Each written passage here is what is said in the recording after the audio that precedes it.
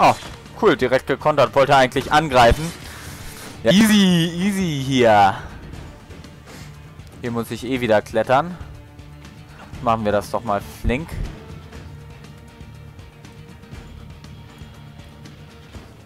Tja, die Frage ist, sind wir jetzt hier in einem Vorort von Rom oder ist das hier schon ganz Rom?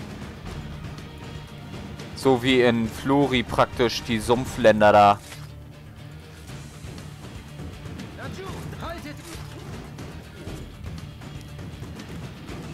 Oh, ein Glück. Sonst hätte ich hier wieder Schaden bekommen ohne Ende Sturzschaden. Ey. Nicht mit Papa Schlumpf hier.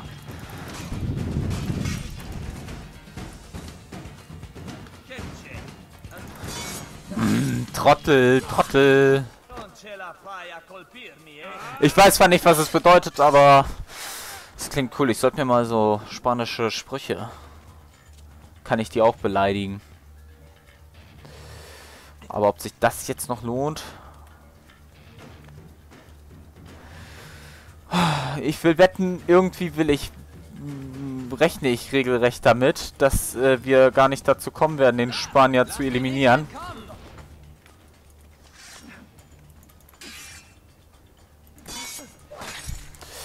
Weil er irgendwie nicht gerade hier ist oder weil wir aufgehalten werden oder sonst was.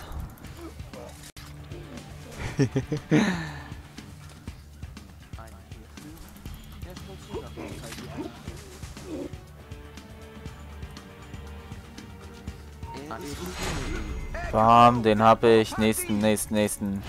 Jawoll. Ah, meine Nudel juckt.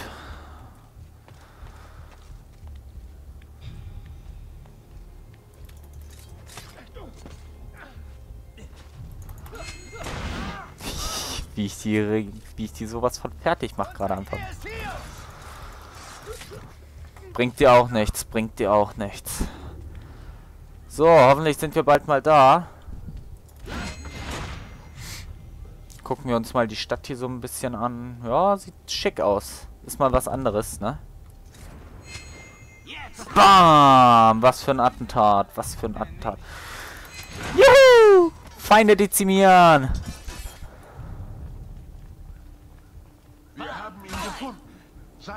Frechheit. So, los, los! Ja. Zack, einen Dicken erledigt.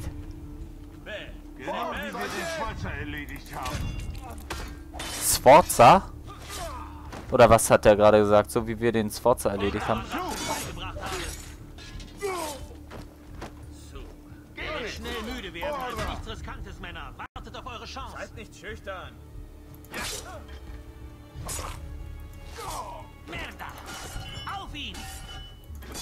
Ach, er will mich doch nur angreifen. Da darf ich ihn doch nicht immer unterbrechen bei. So, also ich würde mal sagen, der Spanier hat hier eine Pissverteidigung. Die ist ja echt nichts wert hier.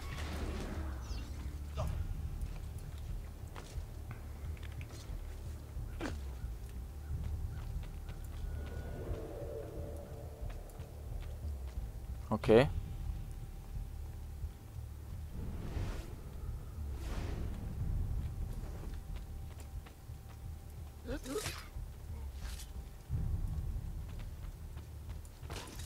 Oh, die stehen da aber auch.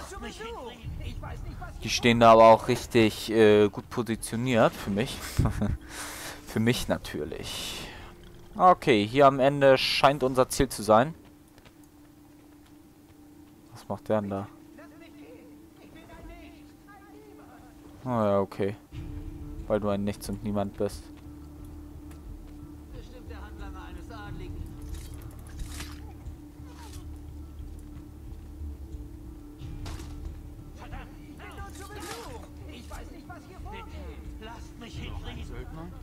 Noch ein Söldner. Zack, ohne entdeckt zu werden bisher. Ja, jetzt wo ich nicht entdeckt werden muss, oder wo es egal ist, werde ich natürlich nicht entdeckt. Ohne entdeckt zu werden. Ja, jetzt werde ich wieder entdeckt. Factorem visibilium omnium et invisibilium, et in unum Dominum Jesum Christum, filium Dei unigenitum.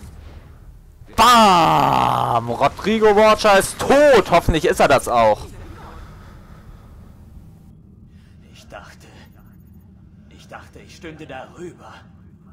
Das tue ich nicht. Es Das ist er, glaube ich, nicht. Kostete zu viel.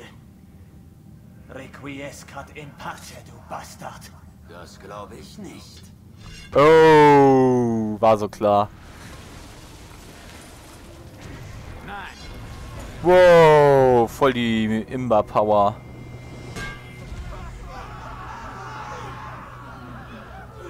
Alter, der hat ganz schön Power damit. wie kannst du widerstehen? Nett von dir, mir den Apfel zu bringen. Gib ihn her! Euch geht's wohl zu gut. Ihr mein Kämpfer. Ganz wie dein Vater. Ah, freue dich, mein Kind. Denn bald siehst du ihn wieder. Du wirst ihn mir geben. Wie ihr wünscht. Oh ja, jetzt ziehen wir hier die Al-Mualim-Nummer ab.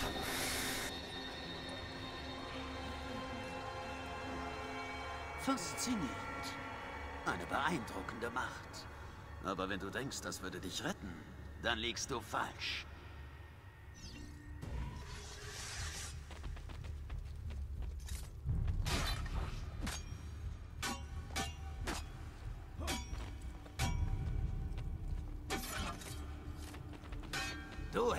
Nicht auf.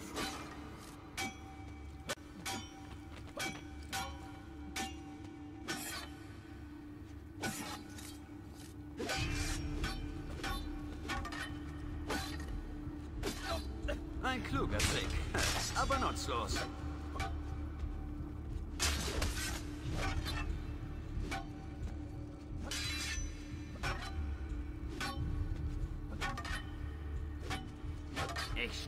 Dich nieder, Assassine!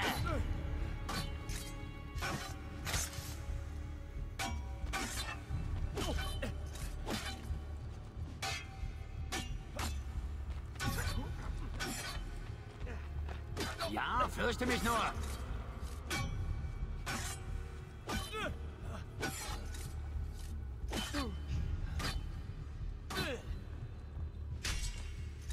Was glaubst du, wie lange du durchhalten kannst?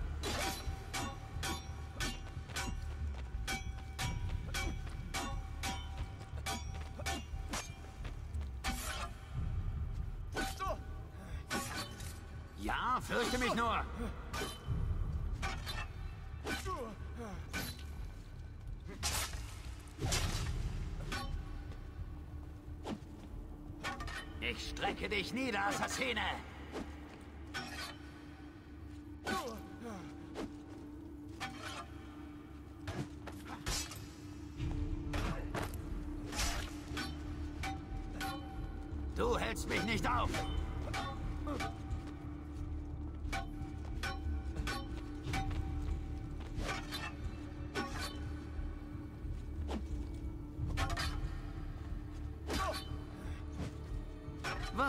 Wie lange du durchhalten kannst?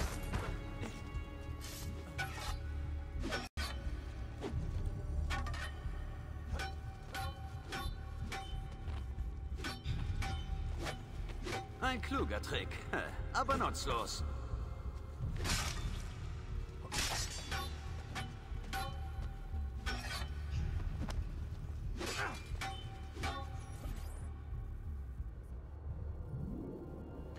Nein, das wirst du mir nicht nehmen. So, den Kampf habe ich jetzt unkommentiert gelassen und jetzt werde ich auch wieder äh, ruhig sein. Und ich werde euch ein schnelles Ende gewähren. Wirklich, Ezio? Und wenn es andersherum wäre, würdest du so schnell aufgeben? Finden wir es doch raus.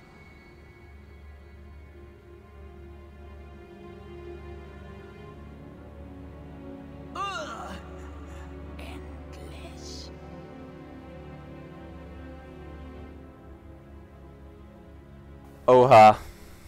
Oh oh. Zurück zu dir. Na, gehört vielleicht alles noch mit zum Plan von Ezio oder ist das wirklich das Ende?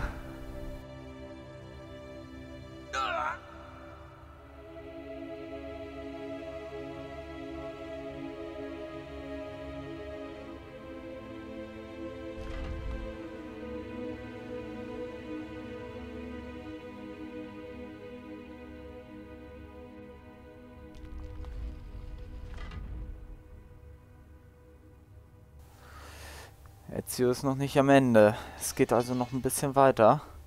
Aber er hat doch noch den Sack da am, an der Hüfte. Ist da nicht der Edenapfel drin, der Edensplitter? Der Edenapfel. Genau.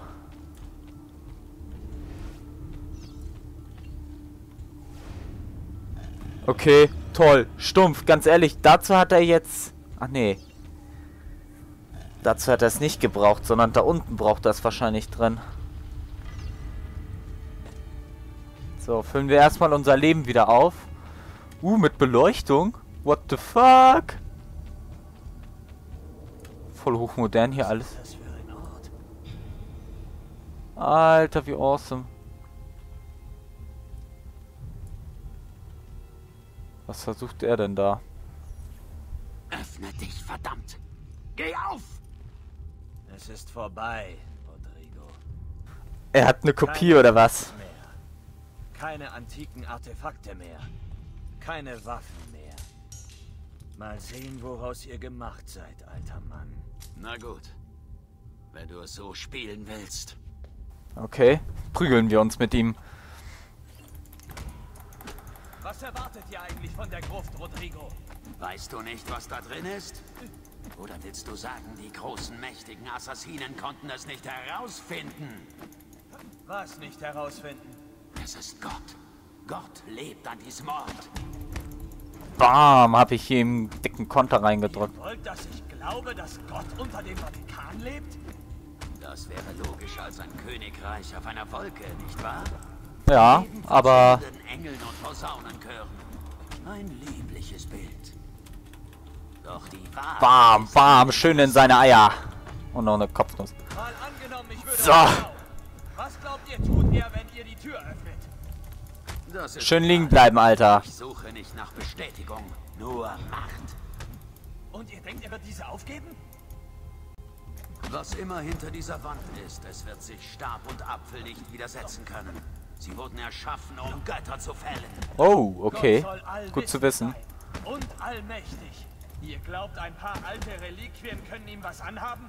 Du weißt nichts, Junge. Sein erster Treffer. Ein Bild der Schöpfer stammt aus einem alten Buch. Ihr seid der Papst. Und doch lehnt ihr den Ah. zentralen eurer Religion ab. Streuen wir ihm ein bisschen Bist Sand in die Augen. Ich wurde Papst, weil mir das Amt Zugang verschafft. Es gibt mir Macht. Glaubst du, ich glaube auch nur ein einziges Wort aus diesem lächerlichen Buch? Alles Lügen und Aberglaube. Genau wie jedes andere religiöse Traktat aus den letzten 10.000 Jahren. Alter. Ja. Jetzt. Schlagen. Ich drück doch schon. Achso, muss ich mehrfach? Er ist erledigt. Er ist erledigt. Jetzt endgültig. Komm schon. Oh nein. Oh nein. Es ist meine Bestimmung. Meine. Ich bin der Prophet. Das wart ihr nie. Dann bring es schon zu Ende. Nein. Euch zu töten wird meine Familie nicht zurückbringen. Ich bin fertig. Nichts ist wahr, alles ist erlaubt. Requiescat in pace. Uh, wenn das mal nicht ein Fehler war. Okay, was kommt jetzt? Uh, ich bin noch ruhig. Ich bin wieder ruhig.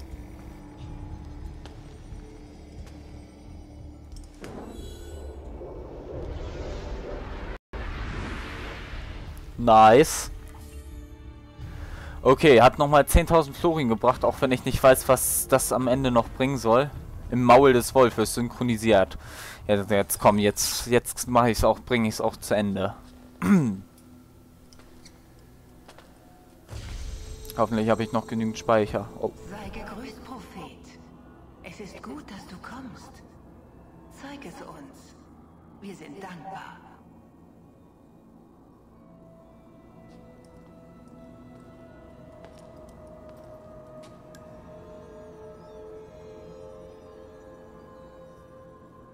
Wir müssen reden. Wer seid ihr? Ich bin viele. Als ich starb, war ich Minerva. Davor war ich Merva und Mira. Und noch viele davor. Auch die anderen. Juno, die vorher Uni hieß. Jupiter, der vorher Tinia genannt wurde. Ihr seid Götter. Nein, keine Götter. Wir waren einfach vorher da. Auch als wir noch auf Erden wandelten, haben die Menschen uns nicht verstanden. Wir waren fortgeschrittener. Euer Verstand war nicht bereit. Auch jetzt. Vielleicht nie. Wer weiß. Ihr mögt uns vielleicht nicht verstehen. Aber ihr werdet unsere Warnung verstehen. Ihr müsst. Nichts von dem, was ihr sagt, ergibt Sinn. Unsere Worte sind nicht für dich bestimmt. Wovon redet ihr denn? Hier ist doch sonst niemand. Genug. Ich wünsche nicht mit dir zu sprechen, sondern durch dich. Du bist der Prophet. Dein Teil ist erledigt. Du repräsentierst ihn, aber sei bitte still. Wir müssen reden.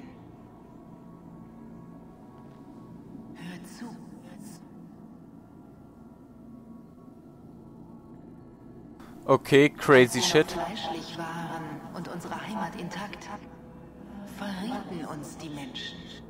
Uns, eure Schöpfer. Uns, die Leben gaben. Wir waren stark, aber ihr wart viele. Und beide wollten wir Krieg. So sehr vereinnahmte uns das Irdische, dass wir den Himmel nicht beachteten.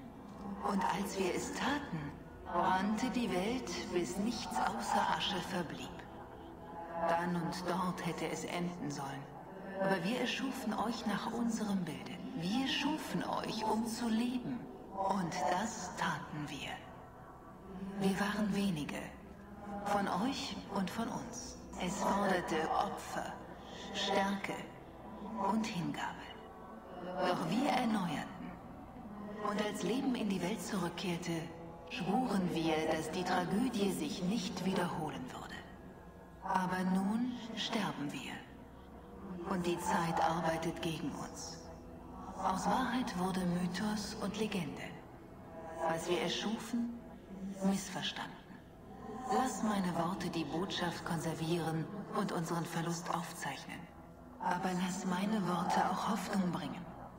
Suche nach den anderen Tempeln, erbaut von denen, die sich vom Krieg abwenden konnten.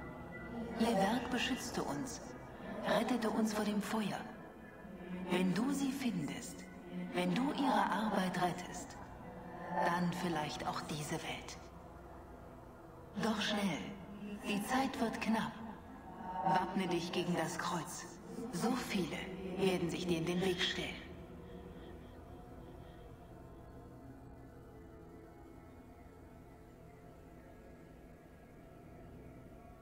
Es ist getan. Die Nachricht überbracht. Wir verlassen diese Welt nun. Wir alle. Wir können nichts mehr tun.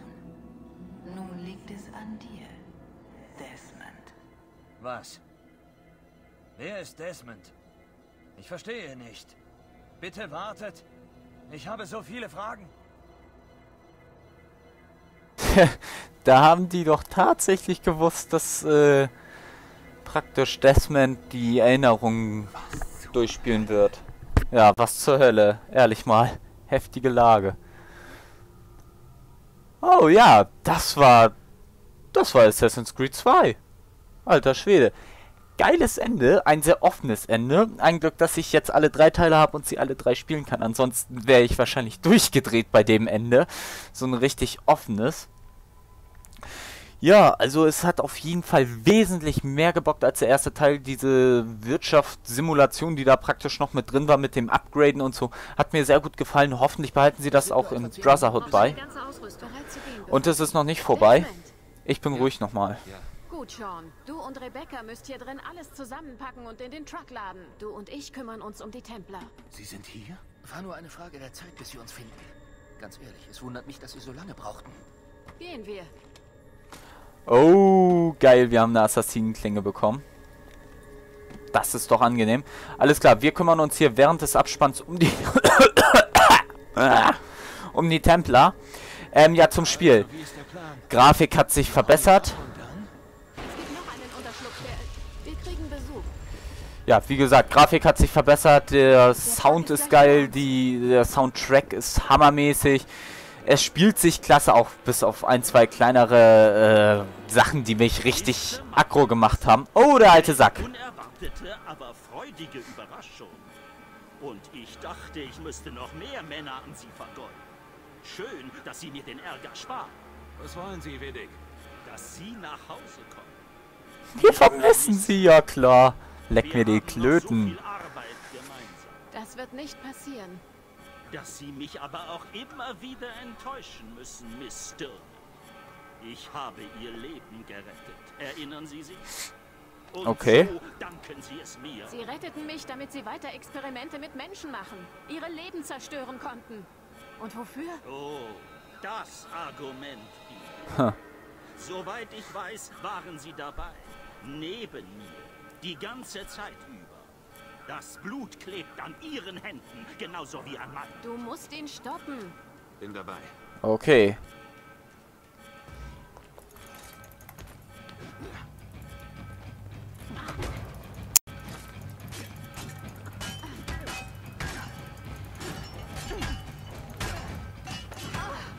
Bam! Ja, Desmond hat's inzwischen auch schon ganz anständig drauf.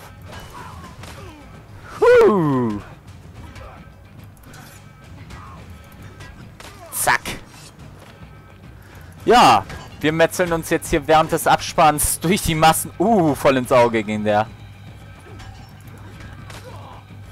Wo ist er denn?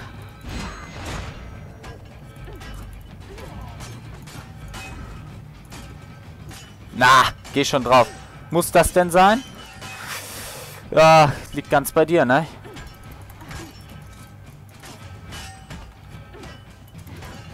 Bam, schön den Rücken. Oh, die hat einen Knüppel aufgehoben. Sie denn, Miss Stillman? Sie können sich nicht verstecken. Okay. Hammer. Oh, oh, Doc.